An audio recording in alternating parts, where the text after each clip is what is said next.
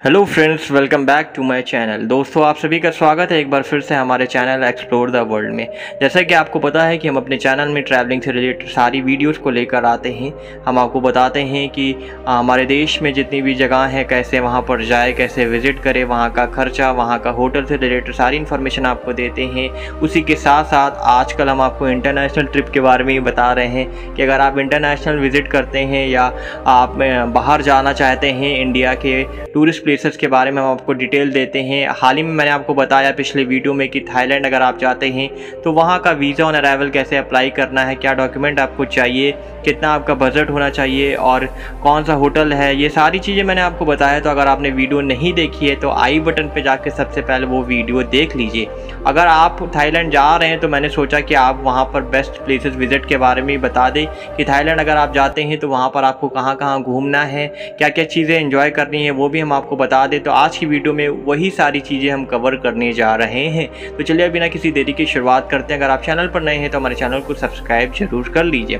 Thailand एक दक्षिण पूर्व एशियाई देश है। थाईलैंड अपने फ़ेमस बीचेस के लिए भव्य शाही महलों के लिए, प्राचीन खंडरों और बुद्ध से जुड़े मंदिरों के लिए जाना जाता है।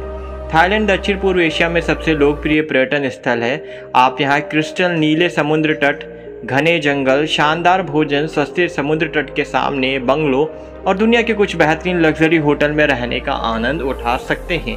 इसके अलावा थाईलैंड में सैकड़ों वर्ष पुराने खंडर हैं और लोगों की भारी भीड़ के बावजूद थाईलैंड ने अपनी यूनिक कल्चर और हिस्ट्री के साथ अपनी विशिष्ट पहचान बनाए रखी है। भारत से थाईलैंड छुट्टियाँ मनाने के लिए हर साल भारी संख्या में पर्यटक जाते हैं। क्योंकि बैंकॉक थाईलैंड की राजधानी है, इसलिए थाईलैंड और बैंकॉक दोनों जगह पर घूमने के लिए कई अट्रैक्शन के केंद्र हैं। इस वीडियो में मैं आपको सभी डिटेल प्रोवाइड करूँगा तो मेक श्योर sure की वीडियो को लास्ट तक ज़रूर देखिए। आइए जानते हैं थाईलैंड के प्रमुख फ़ेमस प्लेसेस के बारे में। तो पहला जो आपका प्लेस है, वो है बैंकॉक। बैंकॉक थाईलैंड की राजधानी और सबसे अधिक आबादी वाला शहर है। इसे थाई भाषा में क्रुंग थेप महानखोन या केवल क्रुंग थेप के नाम से जाना जाता है।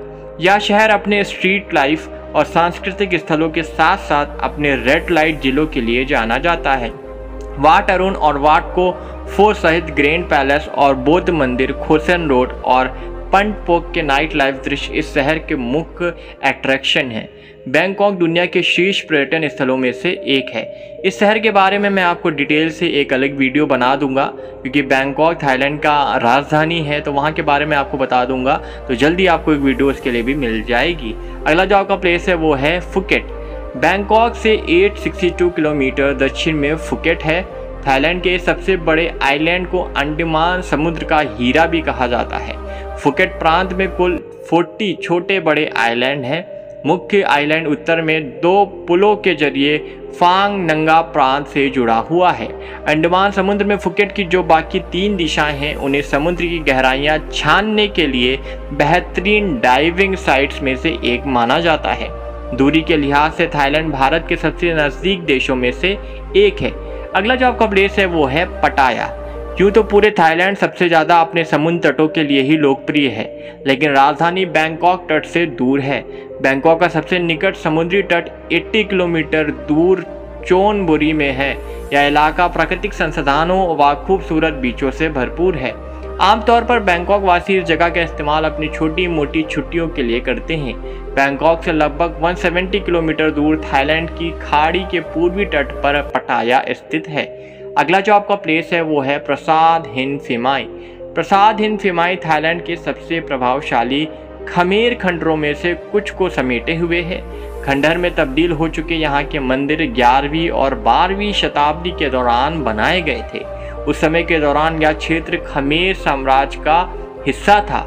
हालाँकि महायान बौद्ध मंदिर के रूप से निर्मित नक्काशी भी कई हिंदू देवताओं की विशेषता भी है। अगला जो आपका प्लेस है, वो है खाओ याई नेशनल पार्क। थाईलैंड में तीसरा सबसे बड़ा राष्ट्रीय उद्यान खाओ याई राष्ट्रीय उद्यान देश के पूर्वी भागों में से स्थित है। यहाँ एशियाई हाथी और काले भालू सहित अन्य विचित्र प्रकार के वन्य जीव देखने को मिल जाएँगे। इस पार्क में आप डायनासोर के पैरों के निशान भी देख सकते हैं। अगला जो आपका प्लेस है, वो है इरावन फॉल्स।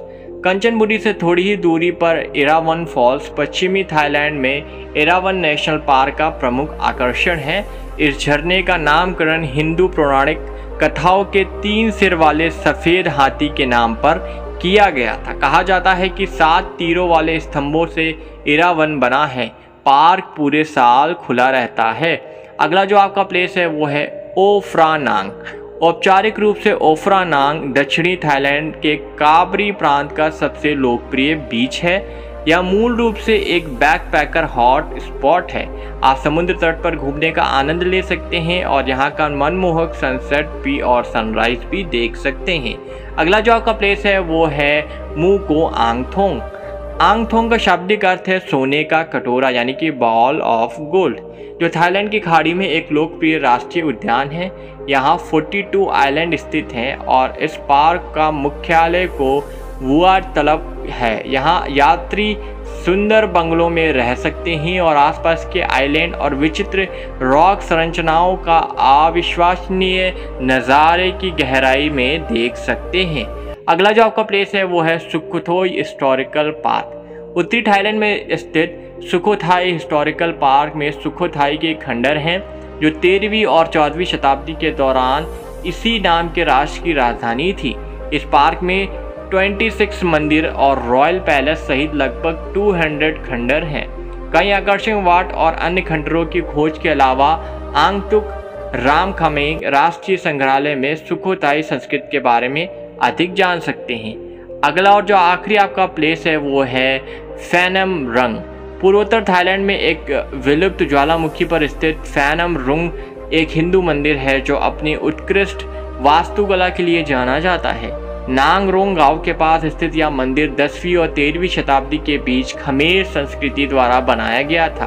बलुआ पत्थर और लेटराइट से निर्मित फेनोम रूंग को शिव के पवित्र घर कैलाश पर्वत का प्रतिनिधित्व करने के लिए बनाया गया था।